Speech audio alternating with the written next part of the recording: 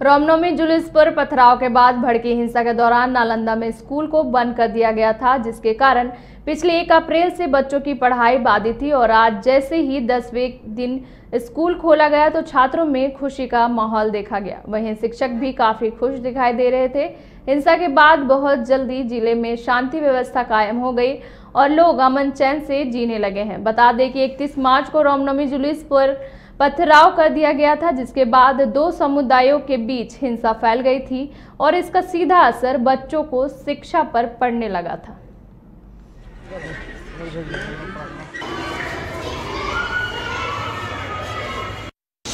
School आए हैं तो बहुत अच्छा लग रहा है, क्योंकि पढ़ाई भी अच्छे से हो रही है तो ना बहुत अच्छा लग रहा है। और जो हमारा पढ़ाई छूटा है उसके लिए तो आ नहीं सकता और इंटरनेट का प्रॉब्लम था ऐसे हमारे स्कूल में व्यवस्था थी ऑनलाइन क्लासेस की। वो भी इंटरनेट नहीं था तो नहीं।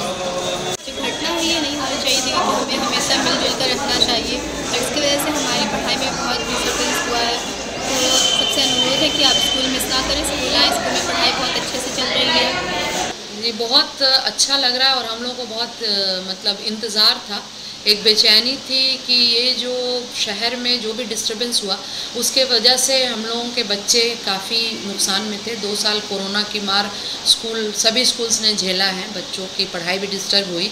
और ये अभी बेवजह एक इस तरह का माहौल होने से काफ़ी लॉस हुआ। हम लोगों का नया सेशन स्टार्ट होने वाला था।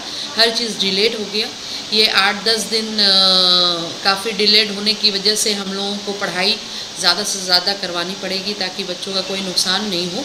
और गार्जियन से भी, सभी आप लोग के माध्यम से ये रिक्वेस्ट होगा कि अब वो बच्चों को रेगुलर स्कूल भेजें।